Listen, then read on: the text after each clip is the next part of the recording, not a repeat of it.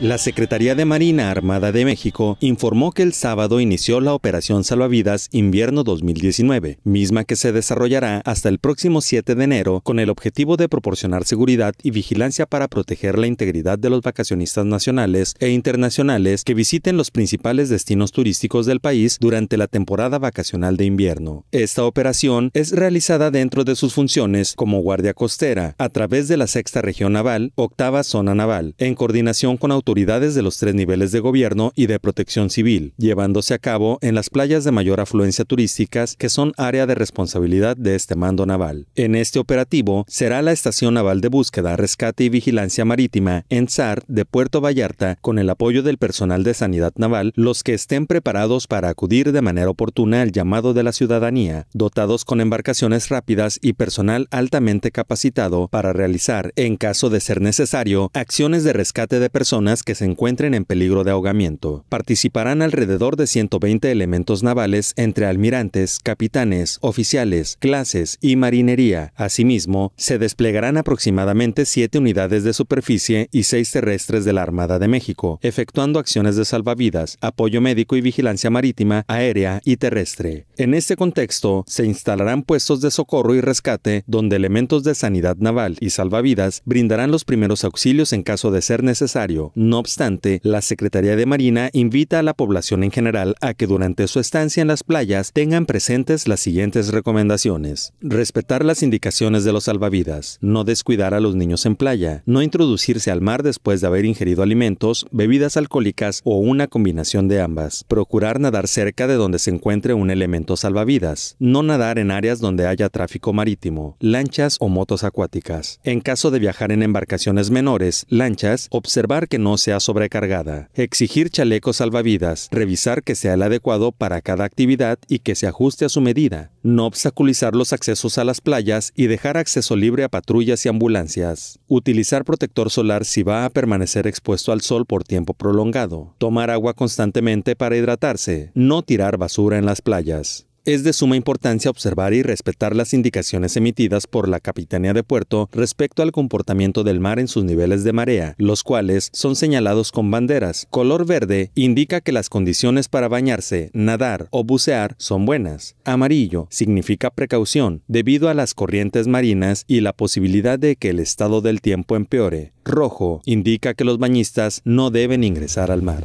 CPS Noticias.